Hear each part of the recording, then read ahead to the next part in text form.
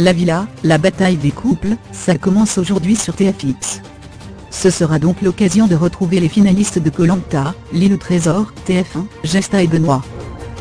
Les deux jeunes gens ont en effet accepté de se frotter à Beverly et Vivian, la Villa des Cœurs Brisés 3, Manu et Antonin, la Villa des Cœurs Brisés 3, Iliari et Sébastien, Moundir et les apprentis aventuriers 3, Jazz et Laurent, la Villa des Cœurs Brisés 2, Stevan et Cassandra, la Villa des Cœurs Brisés 2, Vincent Chegoum et Virginie, les anges, et Tom et Agda, 10 couples parfaits.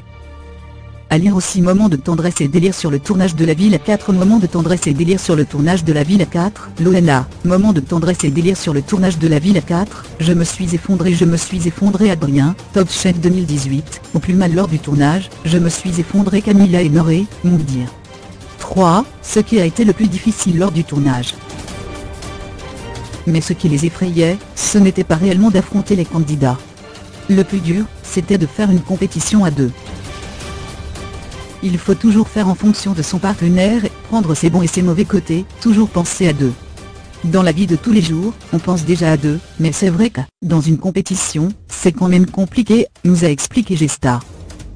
Ils ont aussi appréhendé le fait de se faire rapidement éliminer à cause de leur précédente aventure, on avait un peu peur parce qu'on est les deux finalistes de Colanta, l'île au trésor, Benoît a gagné.